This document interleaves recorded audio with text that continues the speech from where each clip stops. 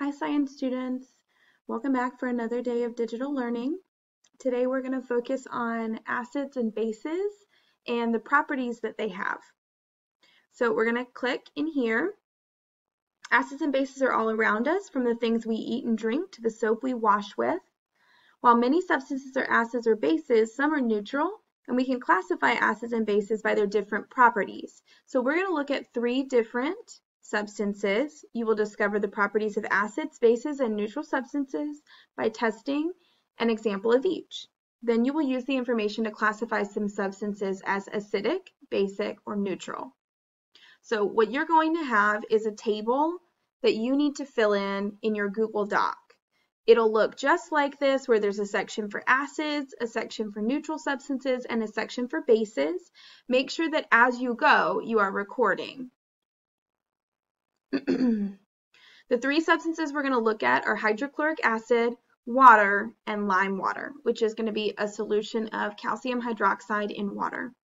We're going to use these four tests that you see, blue litmus paper, red litmus paper, phenolphthalein, and metal. So I'm going to start over here. I'm going to choose my hydrochloric acid, and I'm going to start with my blue litmus paper. When I dip my blue litmus paper in, I see that it changes colors. So I'm going to select blue litmus paper turns red.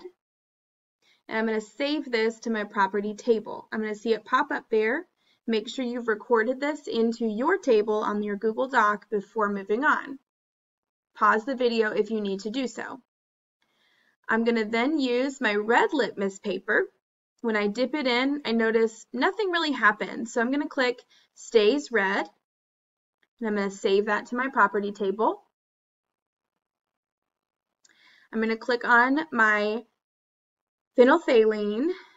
And when I drop it in, I can see that it dissipates and it kind of disappears. It's not colorful. So I'm going to click on remains colorless and add it to my property table. Again, pause the video if you need to in order to record these into your Google Doc. And then lastly, I'm going to use these metals. When I dip the metal in, I drop it in, I can see bubbles being released. So I'm going to click that. Hydrogen bubbles are released, and I'm going to add it to my property table. Right now I have four properties about acids. I'm going to move on to a neutral substance, distilled water, and I'm going to conduct the same test.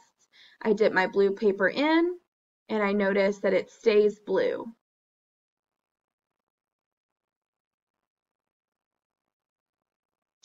I dip my red litmus paper in and I see that it doesn't turn blue, it stays red.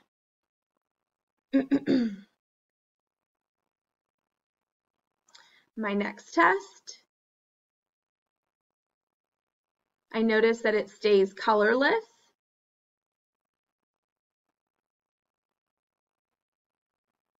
And lastly, I'm going to drop in a piece of metal and I see no change.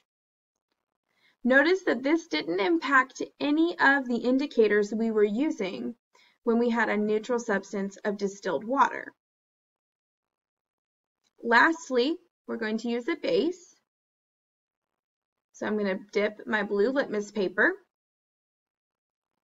It stays blue.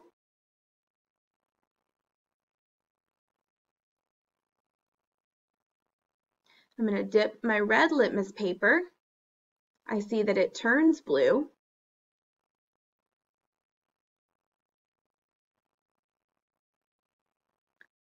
My next test, it changes colors. It turns pink.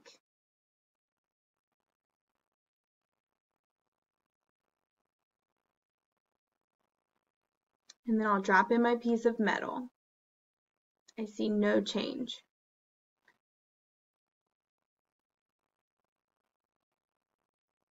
So you've tested all three substances. Make sure you've recorded everything from the acids, neutrals, and bases into your Google Doc before moving on. Pause the video if you need to. The properties of acids, neutrals, and bases have been added to the table below. So what we're going to do now is we're going to look at these six substances And you need to find out if they are acids, bases, or neutrals. Some of them we may recognize, but I want you to test just to double check that you're correct. So let's start with baking soda. I'm going to start with my blue litmus. When I dip it in, I see that it stays blue.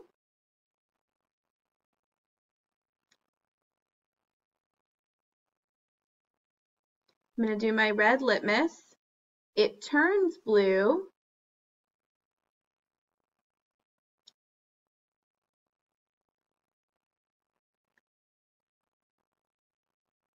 My phenolphthalein it turns pink.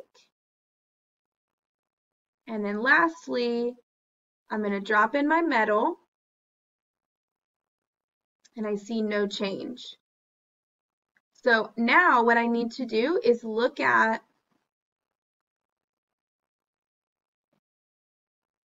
look at both my solution and my properties. So I see that it remains blue, it turns blue, it turns pink, it has no change. So I want to look over here first. Acids, does it change blue to red? This says it remains blue, so it can't be that. Neutrals, don't change, remains blue. So that's correct. Let's keep going. The red litmus paper doesn't change. It stays red, but this says it turns blue, so it cannot be neutral. And lastly, it says don't change blue litmus, remains blue. That's correct. But then also the next one says it changes the red litmus to blue. Correct. The indicator turns deep pink. Same, correct. And does not react with most metals. So I can tell that this is absolutely a base. Let's go on to our next substance. sugar solution. I'm going to put my blue litmus paper in. I see no change. It stays blue.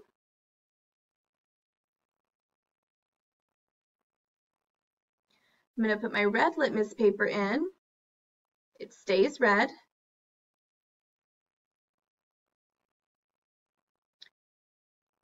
I'm going to put my next test in. It stays colorless.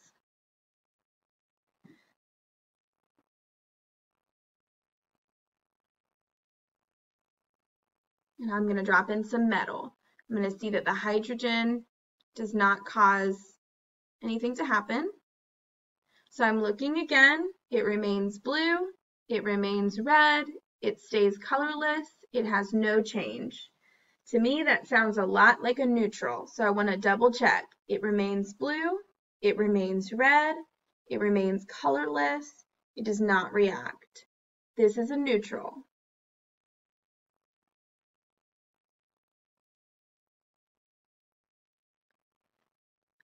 ammonia.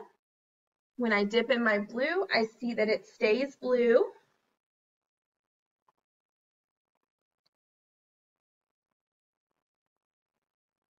When I dip in my red, I see that it turns blue.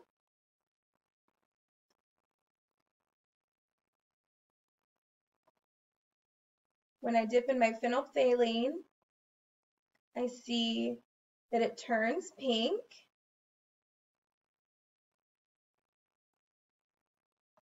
And then when I drop in a metal, I see no change. That bright pink indicator should really tip me off that this is a base. Because acids and neutrals do not change and turn pink.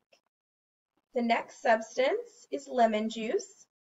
I'm going to put in my blue litmus paper and I see that it turns red.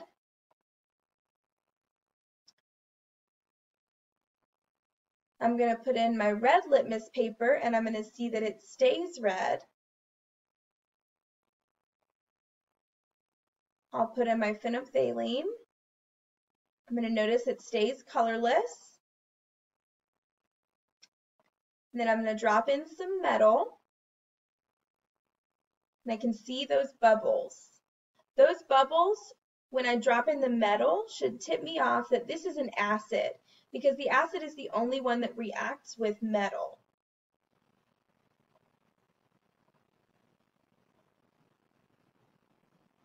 I'm going to do hand soap, which a lot of us are using these days. Blue litmus paper stays blue.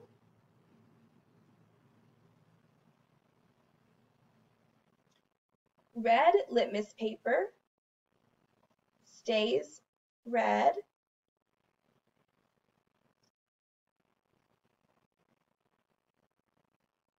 Phenolphthalein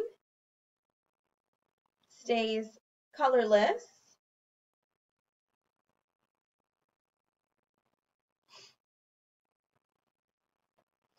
The metal has no change. I know if it doesn't react in any of these categories, that this must be neutral. And I would have to guess that this hand soap must be made of a lot of water, because otherwise, soap often is a base.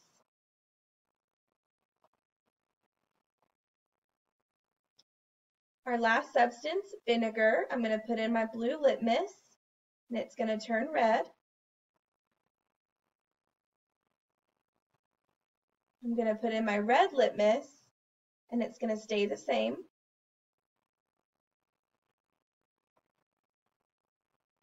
I'm going to put in my phenolphthalein.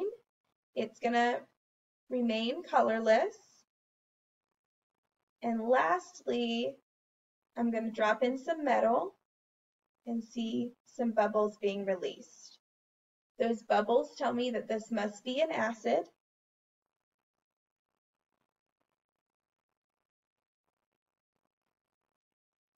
And that's everything we have. Acids turn litmus red while phenolphthalein stays colorless. They can react with zinc, which is a type of metal. Neutral substances are neither acidic nor basic. These substances do not change color in any of the indicators and they do not react with the metal. Bases turn litmus blue and phenolphthalein pink. Bases do not react with zinc. That's everything we have for you today. Have a good day. See you soon. Bye bye.